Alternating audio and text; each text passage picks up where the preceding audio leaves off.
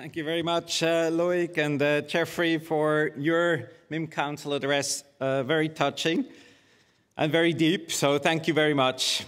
Um, we're getting closer to the distribution of degrees. There's a few more speeches to go.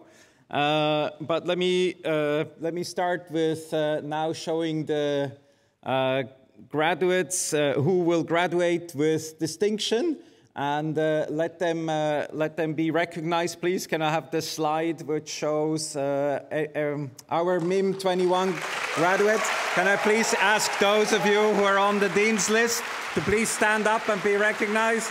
Can you guys stand up and be recognized, please?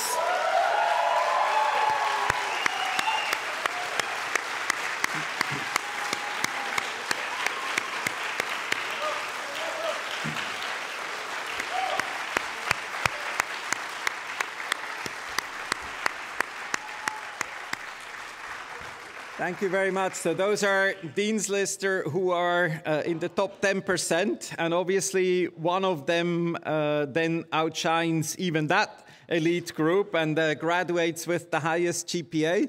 And, uh, and this is your valedictorian speaker today, and the person who will win the, what we now call the Dean Mihov Award uh, for the highest GPA.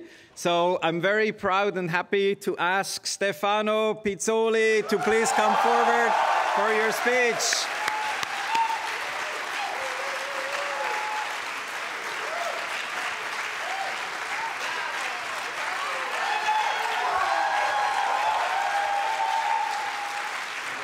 Thank you. Uh, thank you.